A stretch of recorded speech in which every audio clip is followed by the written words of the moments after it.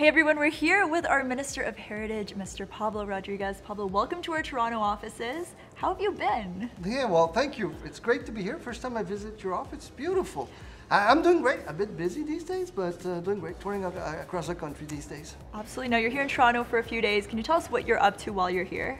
Uh, well, I'm meeting, have meetings with the, with the cultural sector, so people mm -hmm. from the music industry, film, television, uh, discussing with them uh, and how to prepare the future, how we can you know work with them, be by their mm -hmm. side, and also I'm here in preparation of the of the summit, the national summit on, on arts and culture in just uh, May 2nd and 3rd. And there's so many different aspects of Canadian culture that are important, but I'd love to know how important do you think it is for ethnic communities and, different languages to the very fabric of our nation, to the arts, well, the sports, everything? I mean, it, it's part of Canada. It's Canada, actually, right? If you think about it, look at the importance of, of immigrants everywhere. Look at what you're doing here at Telelatino with the people around you. I'm, i was born in Argentina. I didn't say a word of English or French, and now I'm a minister in the Canadian government. So I think immigrants can have and, and must have uh, a lot of influence in our society. And, and, again, I said it to you many times before, should Latinos should go a bit more into politics. Absolutely. And you know what? I think it is important to keep inspiring different cultures and different Latinos, Hispanics to get involved.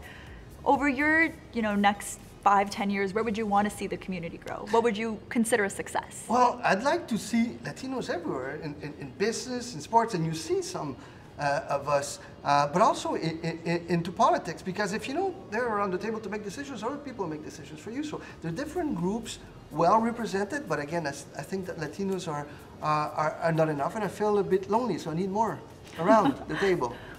I love that.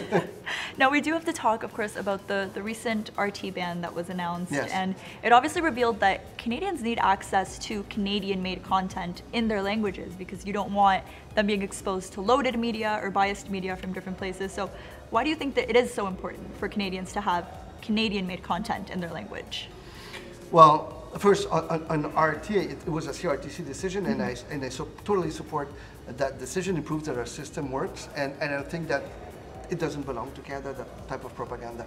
Uh, and, and, on the rest, I think it's important for Canadians to have, to, to being able to see themselves in English or French or their own language, mm -hmm. like to see those uh, programs in Spanish and in Arabic and, and, and so many other languages. Mm -hmm. And now, speaking about misinformation propaganda, you obviously did a big announcement yes. today. Um, at what point, though, does that kind of interfere with freedom of speech? If we're saying this is propaganda or this is misinformation, who's making that decision of what's permissible and when you draw the line? Well, not us. It's not. It's not the government. We're putting in place a program. Yesterday, announced 2.5 million to work with organizations. Uh, they, they, will provide projects and will finance them. But it's it's really to empower Canadians. It's to help people, uh, and especially younger Canadians, to have uh, you know uh, the, the, the, to to when they look uh, at the news, be able to recognize what is more factual news mm -hmm. and what could be also fake news. Absolutely. And minority stories are so important to Canada. Why is it important for those minorities to be the same people telling the stories? Well, because they recognize themselves in others that, that they see, right? And I think that's very important. It's showing the example, as I always said. And now, Pablo, we have to talk to you about soccer. Obviously, as an Argentinian and as Heritage Minister, you do work with sports. First off, did you ever see Canada being this good at soccer? Never, never. and last time Canada went to the World Cup, Argentina won. I wasn't even born. You were not born. I was.